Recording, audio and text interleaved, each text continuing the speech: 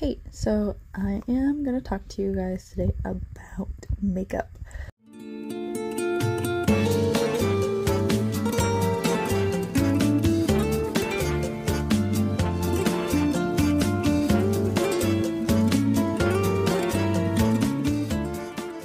So I'm a noob, right? So don't judge my choices or ability to understand all that is makeup. I have watched many, many videos from like Molly Burke, Lucy Edwards, Fashionista. All these people super amazing, totally blind or mostly blind, and can like do their makeup like a pro.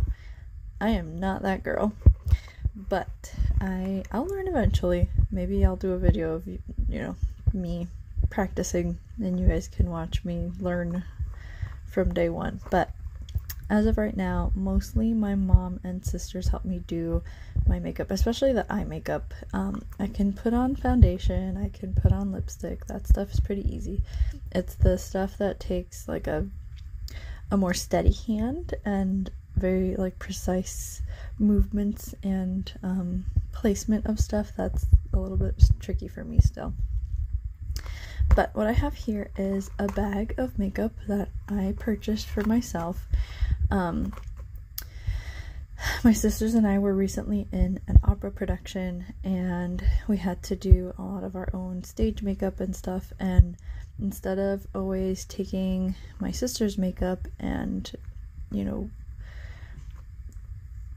running out you know of makeup because we used all hers I decided I should have some of my own one so that we don't have to share brushes or stuff like that but also so that they can get to use some of my stuff as well if they you know don't have something one day or we used all of one of theirs you know eyeshadow or whatever.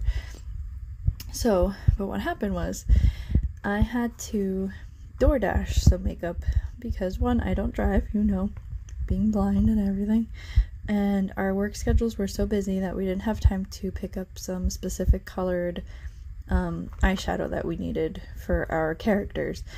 And so I door dashed and I, you know, I don't really know brands that well. I know some of the more like popular CoverGirl, Revlon, that kind of stuff for beauty products, but I was just looking for a a good price, especially because we weren't going to be wearing it for that long, and it was just kind of for um, stage makeup kind of stuff. So um, I wasn't really looking for anything specific. I got my stuff at Big Lots, so limited choice, but it was pretty good pricing as far as you know whatever I saw on the other stores.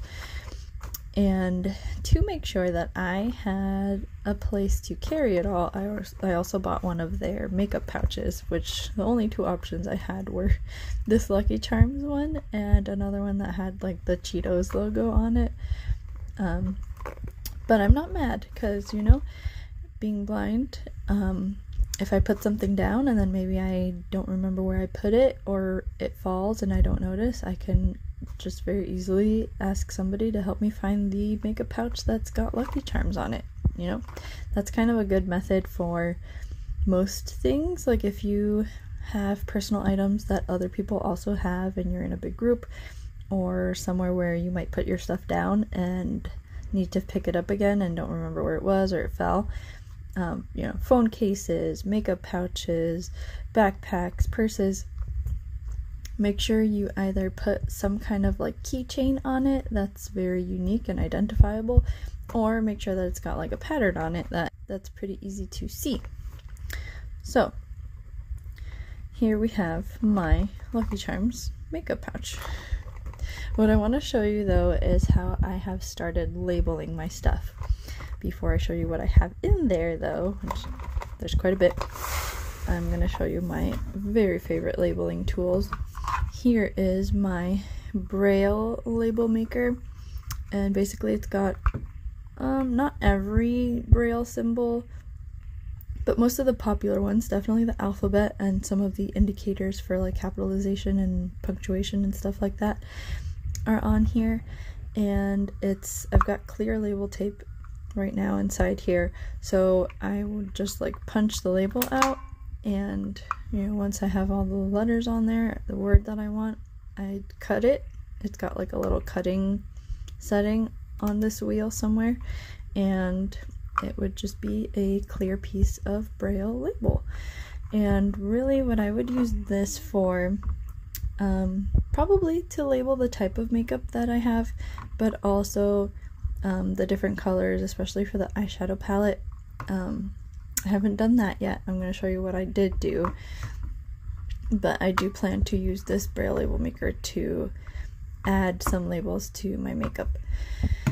But this guy is the one that I used to label what type of makeup I have right now because I do still have some usable vision and I've shown this um, type of labeling in other videos that I have but um, what I've done with this brother little um, kind of print label maker that people mostly use for files and stuff like that I've used him to make some extra bold large print labels for my type of makeup that I have just because although I can identify most of the pieces I have right now because like I said I'm a noob so I don't really have that much I only have one of everything I can kind of you know determine what it is by the shape that it is but eventually when I have more than one lip gloss or more than one um, item that might be the same size and shape as another type of item I will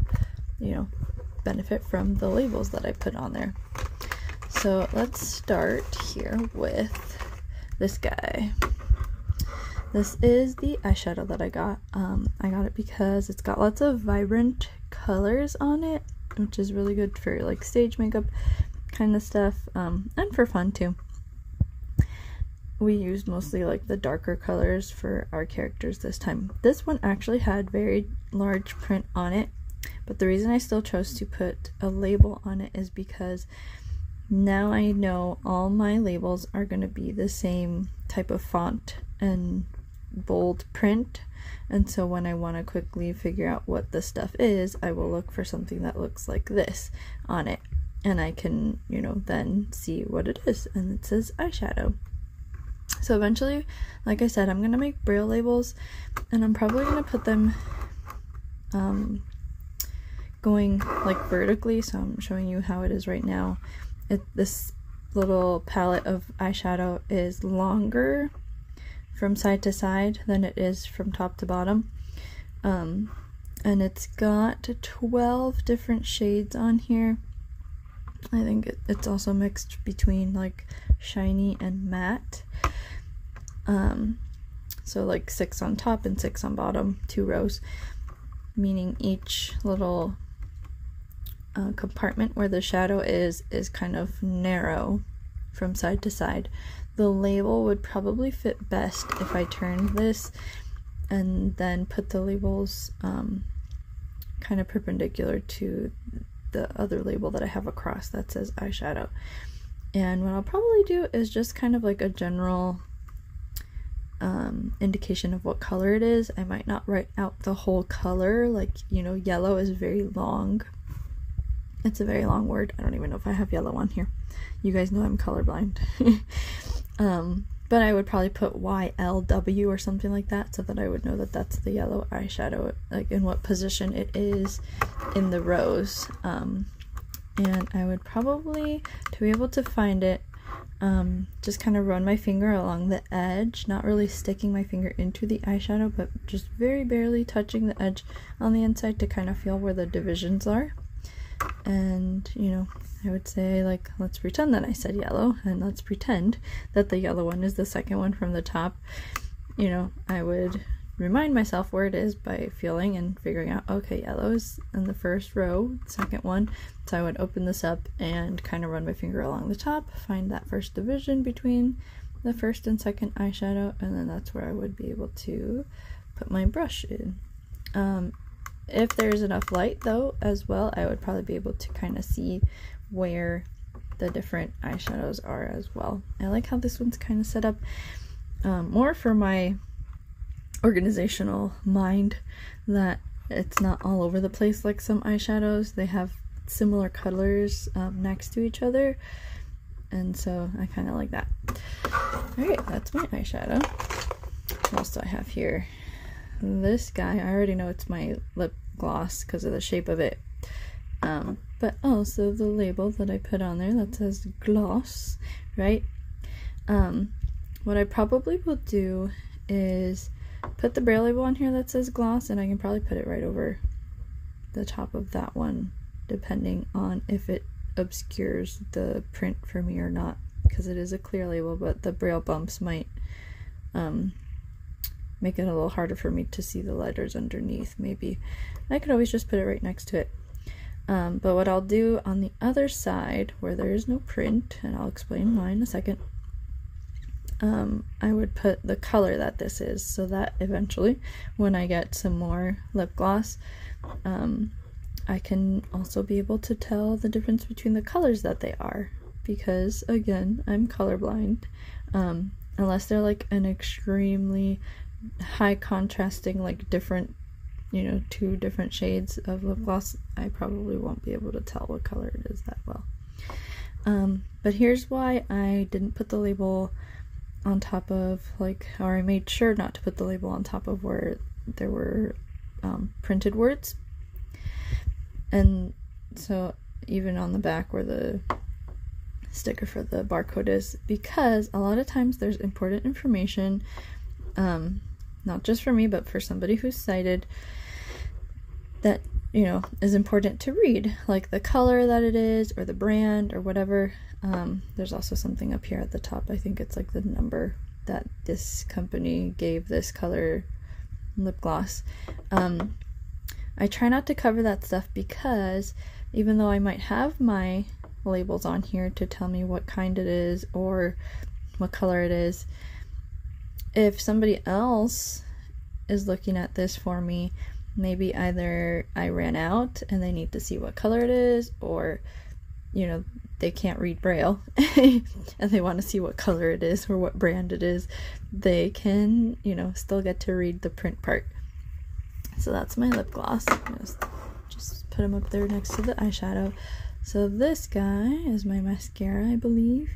Yes mascara and this is the voluminous mascara um, I can still kind of read those letters especially because when I shine the light on them it um, becomes more high contrast against the the background of this um, like packaging that they've got on here.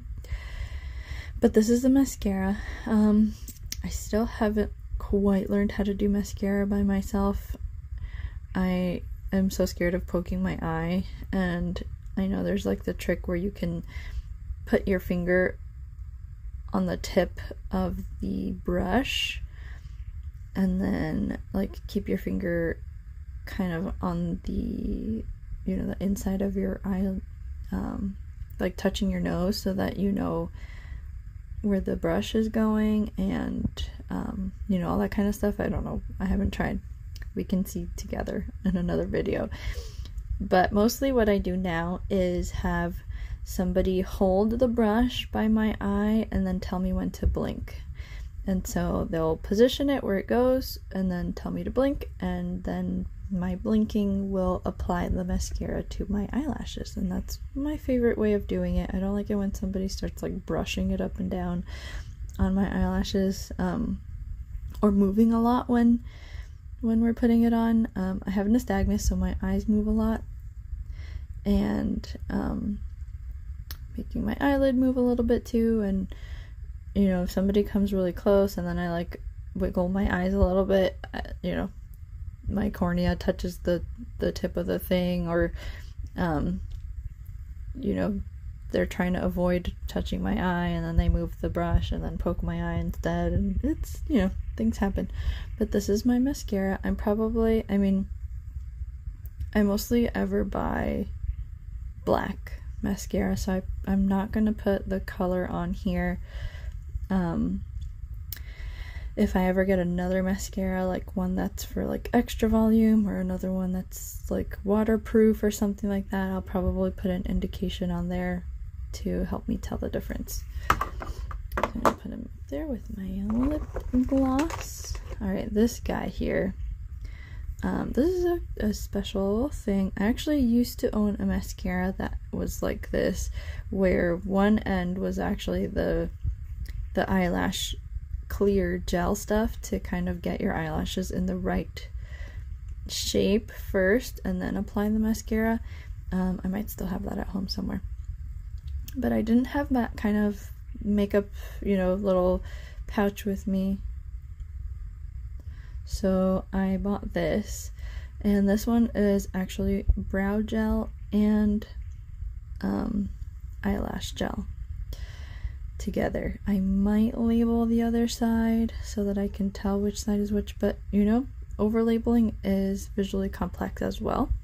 And I might just keep it this way too because now I know the side that has a label that I can read that says brow gel is for the brow gel, and the other side is the eyelash gel.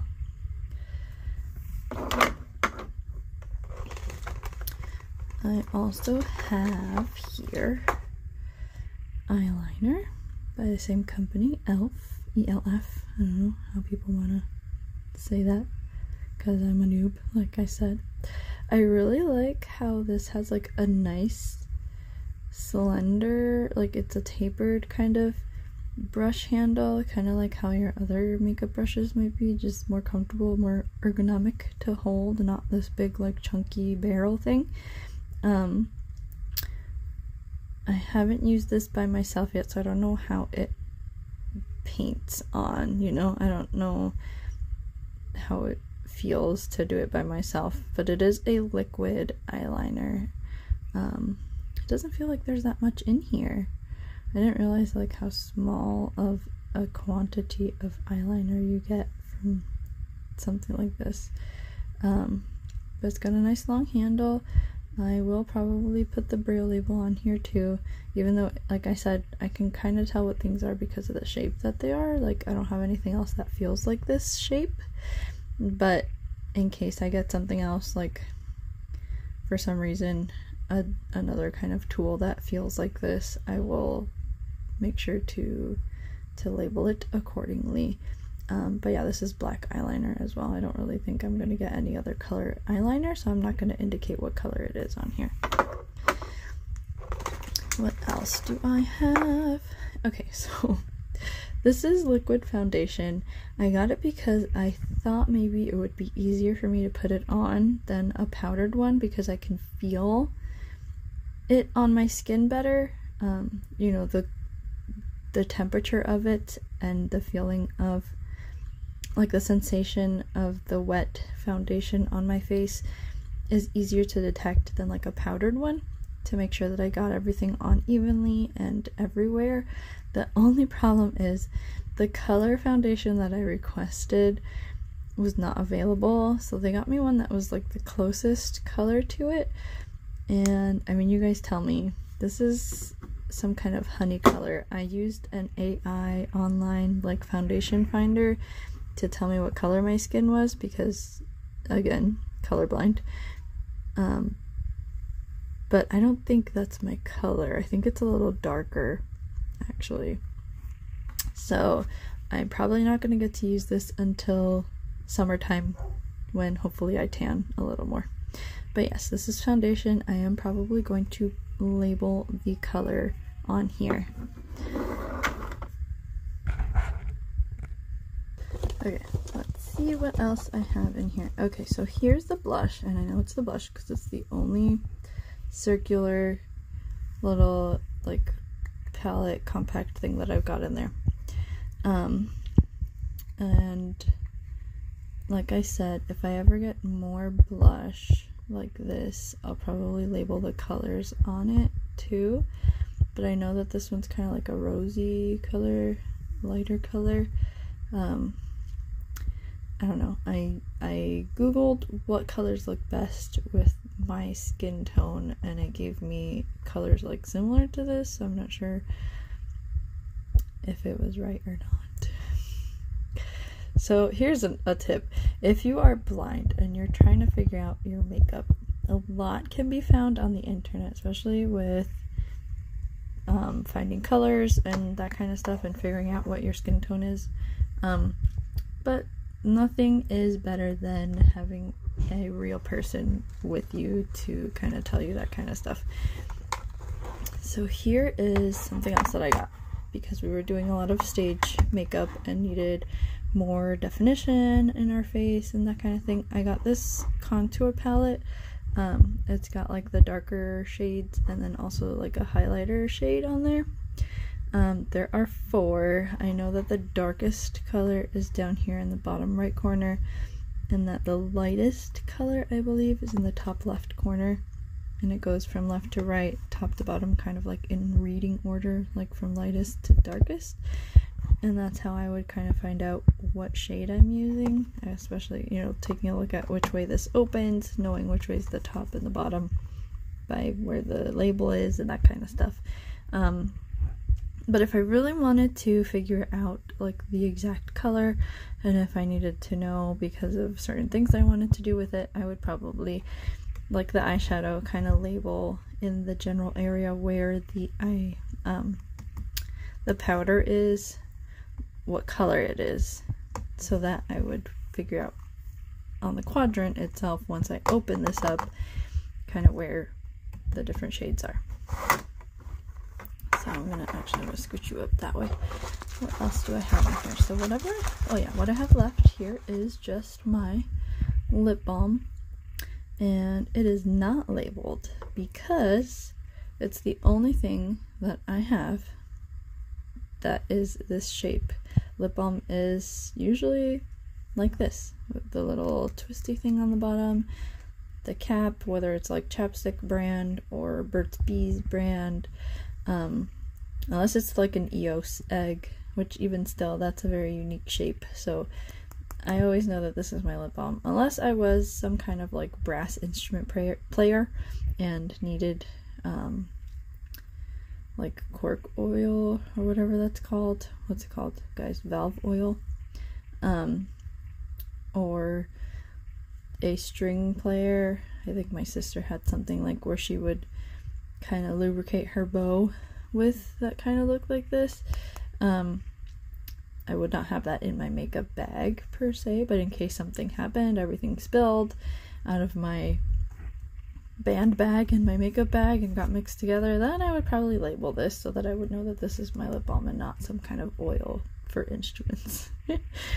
um, but yeah, so this is, I don't have a label on here for that reason. Um, and those usually don't come with color unless unless I got one that had like tinting in it then I would probably label that um, here is the set of makeup brushes and sponge that I have let me pull them out of the bag for you so you can see them a little better here's the sponge I still haven't really learned how to use these very well hence you can see there's no makeup stains on there but um, this one, I just feel the shape of it depending on what I need to do with it. I can figure out if I need the very flat end or just like this one angled end here or the round part.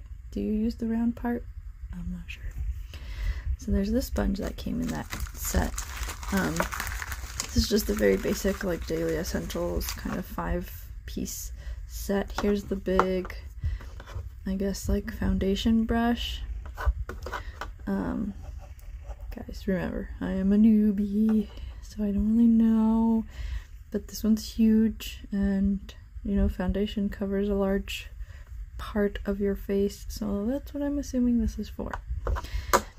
It came with um, another, like a medium-ish brush. This one I'm gonna guess is for like blushes, maybe. Maybe like the contouring stuff, like the dark one that covers more area. Um, so there's that. And if you can see, I do not have labels on these brushes because they are all very unique shapes and sizes. Here are the last two. One of them's a little thicker than the other one. These are both very like small detail brushes. This one's probably for covering your whole um, eyelid with color like eyeshadow um, or maybe for like the highlighter stuff for contouring this is my uneducated guess. And then the smaller, thinner one, probably for doing more detailed stuff with your eyeshadow or highlighters or things like that that just need a tiny little surface area to be covered. Um, but yeah, this is everything that I had in my makeup bag so far. Um, the more things we do, like performances and things like that, the more types of makeup we might need. But I feel like that's the basics and pretty much everything I'm going to need for now. Um, and every kind of label that I'm going to need on it, except for the braille labels that I told you I'm going to do with like the colors and also what type of stuff it is in case I'm somewhere dark where I can't read the print labels. But yeah, if you are interested, I am thinking of doing a video where I learn how to put the makeup on by myself um, just for fun so you can see me end up looking crazy at the end. Um, and then maybe I'll do one where one of my sisters is kind of observing me and giving me tips. So we'll see.